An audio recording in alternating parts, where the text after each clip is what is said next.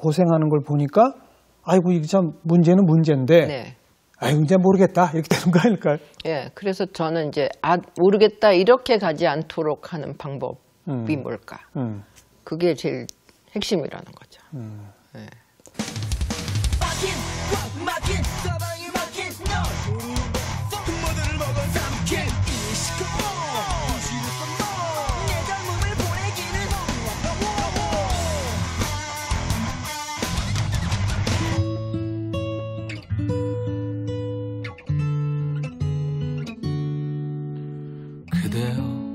아무 걱정하지 말아요. 우리 함께 노래합시다. 그대 아픈 기억들 모두 그대여 그대 가슴에 깊이 묻어버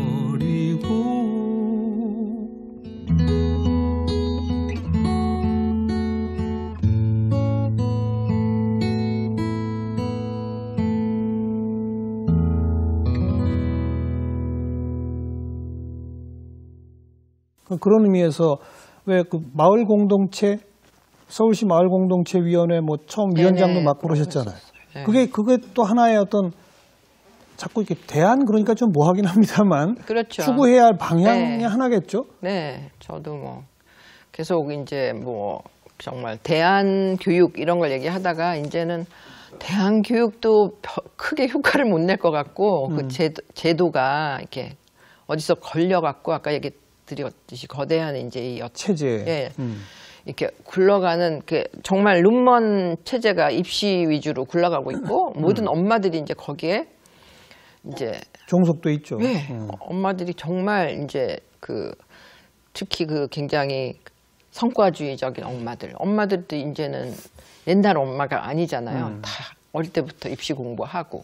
그러니까 이제 엄마로서 관계를 맺는 성향보다는 아이를 매니지하고 CEO 같은 특징을 갖고 있, 음. 거든요 음. 그 엄마들이 이제 거대하게 사교육 시장과 이 체제를 끌고 가니까 이쪽에서 어떻게든 틈새를 내야 되는데 그렇죠. 제가 볼 때는 이 대한학교 쪽은 역부족이고 음.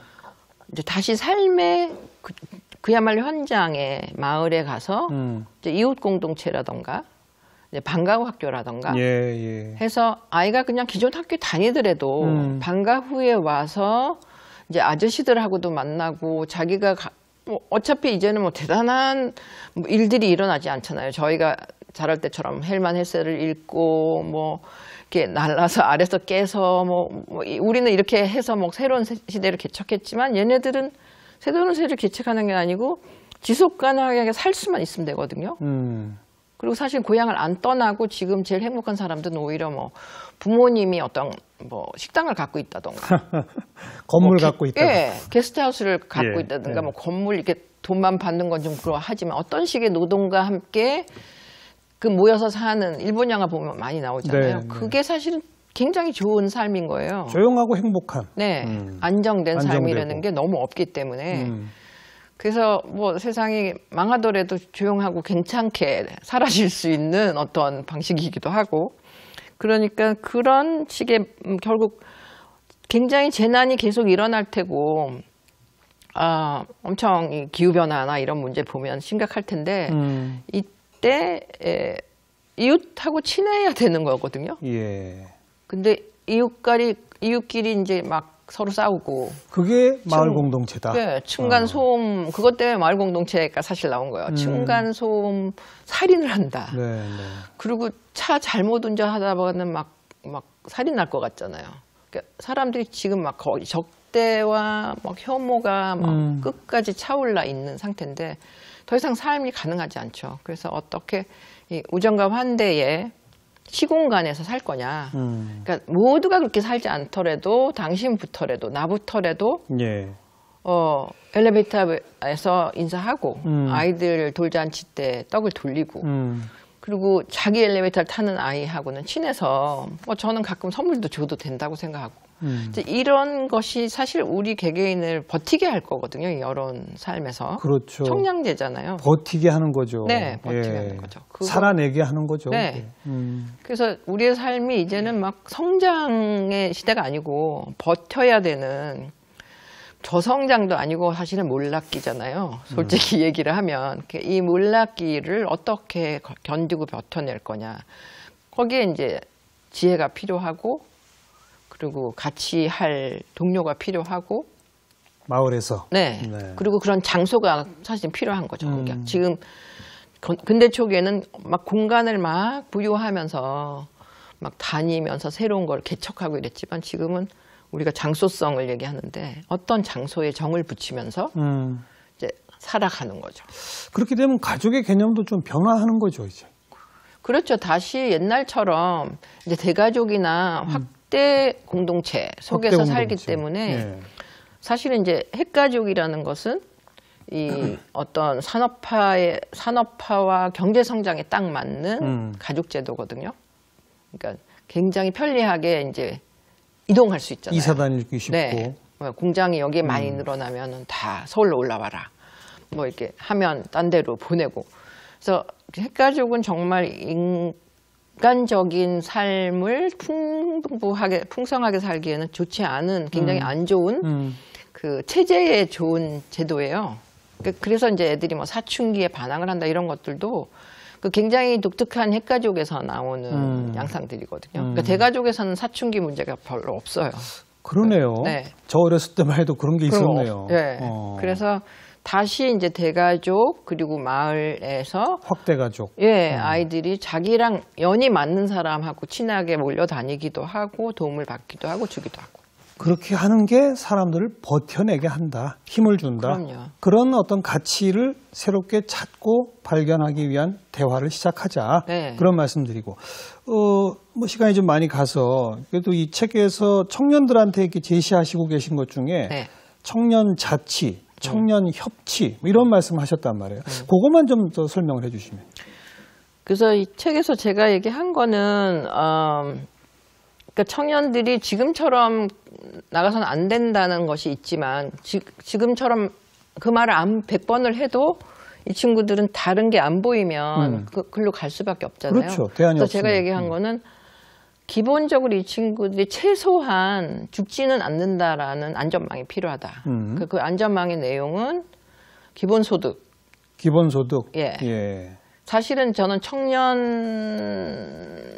청년 수당 뭐 배당 이런 것도 필요한데 실제로 청년 연구를 해보면 저는 청년들이 손해배상을 요구할 수 있다고 생각해요. 누구한테? 자기 위에 세대들한테. 기성세대한테. 당신들이 굉장히 노력했지만 음.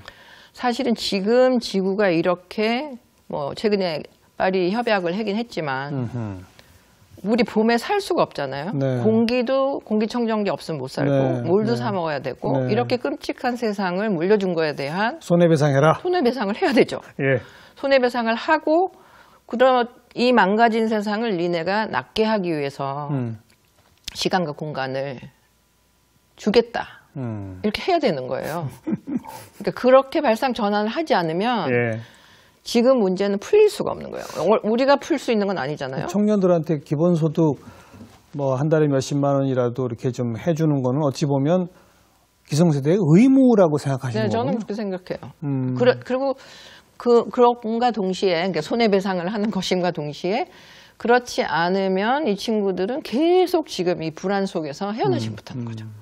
그래서 지금 이제 제가 그 책에서 그 우동사라고 우리 동네 사람들이라는 팀을 소개를 했는데 이 친구들은 이제 70만 원으로 모여서 살아요. 한달 70만 원도. 네.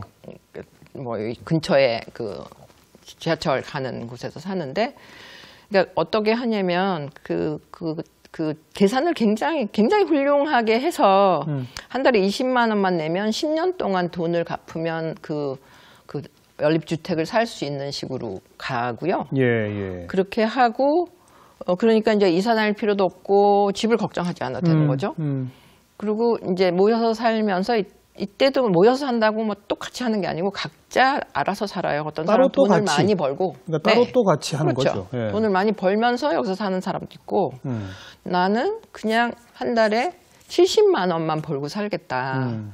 그렇게 해서 어떤 친구는 뭐 석사까지 한 친구인데 공, 이공계 쪽으로 저희가 이제 같이 생태주택 짓다고 꼬셨는데 아직은 안 하겠다고 그 빵 굽는 게 더 재밌다. 아. 그래서 빵 굽는 굉장히 열심히 굽는 재미난 친구를 만나서 네. 두 명이 열심히 하면 한 달에 70만 원은 버는 거예요. 음. 그리고 자기가 하고 싶은 일을 즐겁게 하고. 음. 그 전에는 굉장히 요리하는 게 관심이 있었는데 김밥을 아주 맛있게 해서 70만 원어치만 팔고 하는 거예요. 음. 어떤 친구들은 여기 뭐 인력거 같은 거 만들어서 인사동 뭐 저- 이런 데 돌아다니면서 그런 친구들도 공부 만 석사하고 외국 유학도 갔다 와서 다 때려치고 그걸 하잖아요. 그것이 뭘 의미하는지 음. 그 친구들은 어떤 면에서 여유 있을 때 전환을 하는 거죠. 자기 그렇죠. 몸에 변신을 하는 그렇죠. 거죠. 어. 네. 그거 그게 혼자는 하기 힘든데 모이니까 또 되더라. 그런 거죠. 그리고 이제 70만 원이라는 숫자가 어떤 면에서는 제가 여기서 강조를 했는데 이 친구들이 사실 그걸 실험하고 있는 거예요. 얼마면 되냐. 음. 70만 원이면 되는데 그때는 어떤 조건이냐면 남과 같이 살 수 있어야 되는. 예. 문제는 지금 많은 아이들이 기존에 이렇게 대량 생산된 아이들은 남과 못 살고 음. 소비로 스스로를 즐기는 만족만 추구하고. 그러면 이 친구들은 200, 300만 원 아니면 살 수가 없는데 그런 직장은 이제 거의 없잖아요. 음. 네. 그러니까 이제 어떻게 저는 뭐 빨리 그런 이 다른 삶에 예. 그래서 이 70만 원으로 사는 친구들 중에 결국에는 저는 이 기후 변화 문제를 해결하거나 뭐 재생 에너지 문제를 풀거나 지금 우리의 불안 문제를 풀거나 음. 그런 친구들이 나온다고 생각하거든요. 그 속에서 나온다. 그 속에서 나오죠. 어. 여유가 있고 느긋하니까. 음. 뭐 그런 친구들이 뭐 빈둥이라는 카페도 만들고 뭐 빈둥거려야지 이제 알파고하고 이길 수 있는 거거든요. 예. 알파고하고 우리가 다른 거는 우리는 정말 자궁에서 나와서 음. 누군가의 그 아픔을 같이 느끼는 거잖아요. 슬퍼하기도 하고. 그리고 죽는 존재잖아요. 음. 죽지 않는 존재가 좋을까? 부러울까? 저희가 그런 질문을 해야 되는 거예요. 왜 그렇게 오래 살고 싶어 할까? 왜, 어, 그러니까 뭘 다 바꿔 끼고 알파고가 되고 싶은 건가? 뭐 이런 질문들을 하게 되죠. 기성세대들은 의무로라도 어, 청년 기본소득 이런 거 고민해야 하고 이제 그런 것들이 좀 뒷받침이 되면 그 청년들 속에서 스스로 모여서 그렇죠. 자치와 협치 과정을 통해서 새로운 일들을 이제 만들어 나갈 거고. 진짜 미래에 새롭게 대응하는 새로운 창조를 그들이 할 수 있다. 네. 그들에게 그럴 수 있는 여유를 주자. 그런 거죠. 그런 거죠. 지금 청년들이 해야 되는 거는 뭐 유명한 리차드 세넥 같은 사람은 협동이고 장인이 되- 되는 거다. 음. 그러니까 지금 우리는 다 누리뭉실 입시 공부만 하는데 그거는 아무짝에도 쓸데가 없는 거예요. 네. 다 똑같은 거죠, 네, 그냥. 뭔가 굉장히 잘하는 거. 근데 실제로 모든 사람들이 뭔가 자기가 좋아하는 거를 굉장히 깊이 있게 어릴 때부터 파면 네. 한번 그, 그 수준에 가면 모든 일을 그 수준에서 하는 거예요. 그게 장인이죠. 예. 음. 근데 그거를 해내야 된다는 거죠. 그리고 동시에 인공지능, 이제 음. 몸으로 많은 경험을 해야 되는데 음. 요새는 프레센스라는 책에서도 그런 거 얘기하고 있는데 뭐 이렇게 그 서핑을 해봤다. 근데 거기를 파도를 탈 때 몸을 올리기가 굉장히 힘든데 음. 막 이제 굉장히 어려워할 때 선생이 그냥 너가 탔다고 믿어, 믿어라 했을 때 딱 탔잖아요. 뭐 그 경험이 삶의 많은 위기마다 살아난다는 거죠. 음. 뭐 저도 이제 굉장히 등산을 많이 했는데 어릴 때부터 근데 뭐 아기 날 때 계속 그 등산하는 생각을 하면서 아기를 낳으니까 하나도 별로 괴로운 거를 모르는 거예요. 몸이 기억하는 걸로. 몸이 기억하는 거죠. 네, 네. 근데 그 부분을 우리는 거의 입시 교육에서 안 시키는 알겠습니다. 거죠. 알겠습니다. 인공지능 시대의 앞으로의 교육에 대한 이야기를 하시는 분들도 대체로 또 비슷한 얘기를 합니다. 협력적 네트워킹 할 수 있는 그렇죠. 능력, 새로운 어떤 창의, 차- 음. 상상할 수 있는 능력, 뭐 그런 얘기를 하거든요. 이제 그런 것들도 합해서 협동과 장인 이렇게 좀 그리고 말씀 의논하는 거. 그런 거죠. 네. 어. 어떻게 생각하세요? 그 오래전부터 그러니까 대안학교, 뭐 대안적 삶, 뭐 이런 말씀을 많이 하시고 그런 운동을 쭉 펼쳐 오셨는데 네. 지금 21세기 오늘 대한민국의 모습 그리고 앞으로 예상되는 대한민국의 모습을 생각하면 네. 그렇게 달라져야 되는 거 아닙니까? 그런 그런 거죠. 근데 이제 그렇게 확 가는 것 같지가 않고 자꾸 주춤되고 뒤로 가기도 하고 그러죠. 예, 그러니까 아, 요새는 정말 이게 많이 난감한 상태죠. 네, 이제 깨닫게 될 겁니다. 그렇지 않을까요? 뭐 그렇게 생각하고 있고 안 그렇다 하더라도 이제 저는 항상 뭐 그냥 사과나무를 심자 생각을 해야 되는 거죠. 알겠습니다. 교수님 오래간만에 나오셔서 좋은 말씀 해주셔서 감사드립니다. 고맙습니다. 네. 네. 어, 정말 시대가 질적으로 변화하고 있습니다. 그동안 알고 있던 삶, 이게 다일까? 아, 물음표 던져보시는 그런 시간 가지셨으면 좋겠네요. 다음 주에 다시 뵙겠습니다. 안녕히 계세요.